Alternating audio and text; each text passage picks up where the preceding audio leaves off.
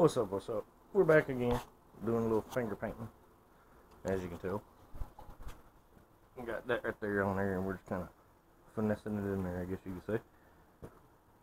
Just kind of getting it in the little cracks and crevices. Trying to make it uniform looking. Let me get up on this side. Get a little bit on the old glove there. Kind of filled that void in. Making it smooth looking, I guess you'd say. Doo doo. Getting that pookie paste. JB Weld. Better than uh, Bondo. Or at least I say it is.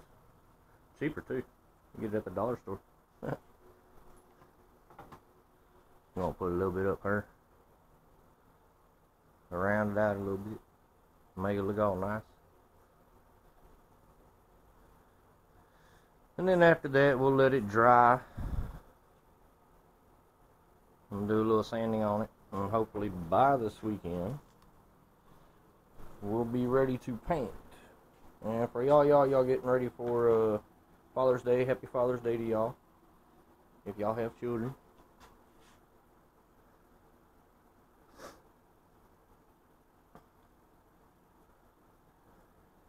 Do a little bit more on there.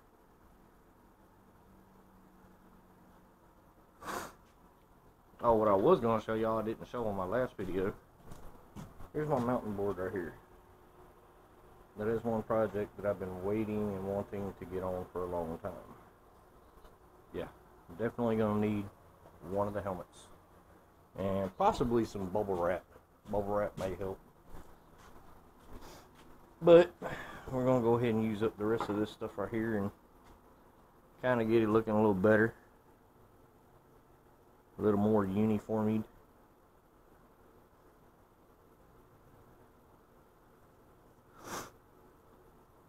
I'll show you all the paint that we're going to be using.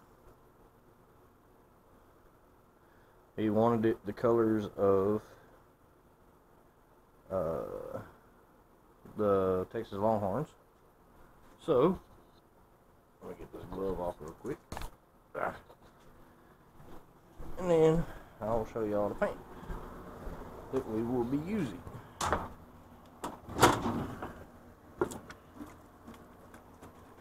This is it right here. It's a nice little burnt orange metallic. It should look pretty nice on it. We're also going to be painting the forks black Let's see, what else did we say we were painting black? I think that was it. I think that was the, the forks only. But, in the meantime, this is what's going on with the little drifter. Hopefully we'll have it out pretty soon. Until then, I will get back to y'all. Peace.